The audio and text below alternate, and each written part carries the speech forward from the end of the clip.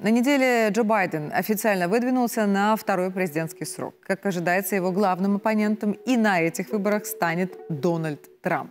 Гонка еще не началась, а республиканец и демократ уже обменялись ну, любезностями.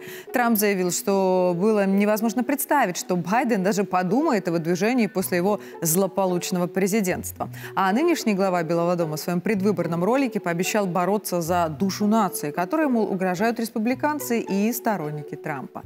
Но такая дискредитация оппонентов вполне ожидаема. У Байдена нет возможности сосредоточиться на позитивной повестке.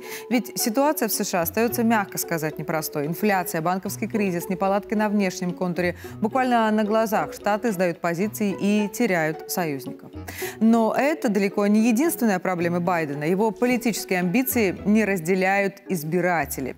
Согласно опросам, которые были опубликованы на неделе, 70% американцев считают, что Байдену не нужно идти на второй срок. В целом рейтинг главы Белого дома оставляет желать лучшего. Ему доверяют 37%. Это крайне низкий показатель и редкость в американской истории. Но многие пеняют на возраст. В Америке был всего лишь один э, кандидат в президенты старше Байдена, которому сейчас 80. Если он снова выиграет, то президентский пост покинет уже 86. Возраст действительно солидный, даже с оглядкой на эйджизм. А что будет дальше? Уже сейчас у Байдена было несколько серьезных медицинских проверок. Их результаты вызывают вопросы. Но, тем не менее, Демократическая партия решила, что он вполне может оставаться таким же активным участником американской политики.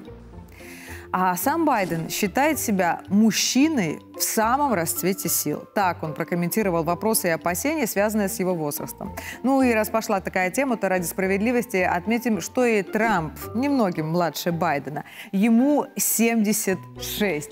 Так что здесь республиканец и демократ идут, ну, плечом к плечу, что называется. Но с другими цифрами Трампу пока везет все-таки больше. Несмотря на судебные проблемы, он обходит Байдена по популярности. Впрочем, мерится рейтингами, в этом случае антирейтингами. Американским политикам не привыкать, и это станет отличительной особенностью предстоящей предвыборной гонки в США, отмечает эксперт.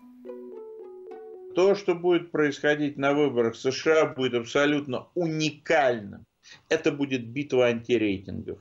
Здесь вопрос заключается в том, чтобы вас не любили больше. И вот в этой ситуации мы выходим на а, расклад примерно 50 на 50 в пользу Байдена и в пользу Трампа.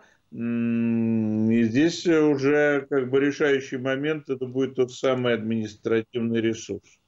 А, в качестве маленькой сноски. Трамп является единственным республиканским кандидатом, единственным сильным республиканским кандидатом, у которого Байден может выиграть. Поэтому великолепное технологическое решение, которое было осуществлено командой Демократической партии, это сделать так, чтобы единственным кандидатом на нынешнем этапе в республиканской партии мог бы быть Трамп. Это судебное разбирательство, Трамп гонимый, никто его никуда не посадил, да, но в комнате перед предварительными э, слушаниями он провел, его сфотографировали, пальцы сняли, и этим обеспечили ему краткосрочный рывок в числе других кандидатов. Десантис снялся, больше никто не выдвинулся. Да? Но в долгосрочной перспективе вот эти вот судебные процессы, они будут играть точно совершенно против Трампа, потому что будут всплывать все новые и новые факты. И в этом смысле мы, конечно, должны свыкнуться с перспективой, что мы будем наблюдать за спящим Джо еще 4 года, если у него хватит биологического ресурса. Но оставим пока возрастные проблемы. Нас больше интересует, как результаты выборов в США могут повлиять на мировой геополитический расклад и чего ждать белорусам от этой возможной смены курса. Проконсультировались у российского американиста. Союзное государство должно жить своей жизнью и развиваться, как нам на то указали два наших президента и верховного главнокомандующего, э, в безопасном режиме, сдерживая некоторых наших не вполне разумных соседей. Соединенные Штаты в любом случае, в любом, кто бы ни пришел к власти, будут все дальше и дальше погружаться в пучину внутренней политики. Некоторая разница. Трамп скорее будет решать вопрос внутриполитический, отвлекаясь на внешнюю политику, когда ему нужно устраивать шоу, а, нынешняя администрация, она абсолютно не способна решить хоть какие-то проблемы внутри, внутриполитические, она даже не пытается этого делать. Это тоже, кстати, очень, это абсолютно уникальная черта для американской политики, нечто новое.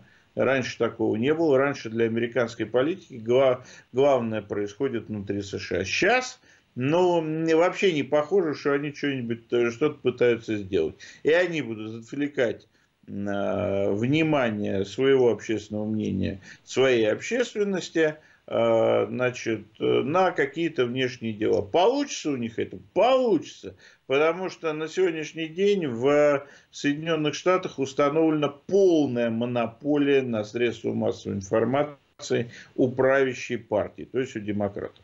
Но я вынужден вас разочаровать. Я не вижу ни одного варианта, при котором а, Трамп победит Байден.